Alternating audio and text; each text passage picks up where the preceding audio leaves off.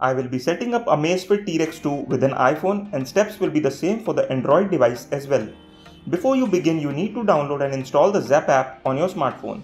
I will be leaving the link for the app in the description below. Once installed, you need to open the Zepp app. If you have signed up before, then you can log in using the same email ID and password. You can also sign up if you are a first time Amazfit user. I would recommend using other login methods as sometimes Amazfit doesn't let you log in even with the right credentials for some reason. I'm going to log in using my Google account, but you can choose whichever method you prefer. If you are logging in for the first time, it will ask you to sign up. On the next screen, fill in your region, then accept terms and conditions. Fill in some personal details and tap on done. On the next screen, app will ask you to select the device you want to pair with your phone. Tap on the watch option. You will be presented with the two options. First one is that you have the watch that can display QR code and the second one is the watch that can't display the QR code.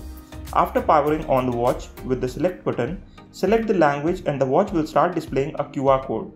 Now on the app, select the watch with QR code option and scan your watch. This will send a binding request on your watch, tap on the tick icon to proceed. After that, app will ask some more permissions to back up your Zepp account, PAI data and more. Proceed to click on the synchronization option and now you can use your Amazfit T-Rex 2 watch with your iPhone or Android device. So guys that's all for today. If you found the video useful make sure to hit that like button. I will be coming out with an in-depth T-Rex 2 review soon so don't forget to press that bell icon. See you next time.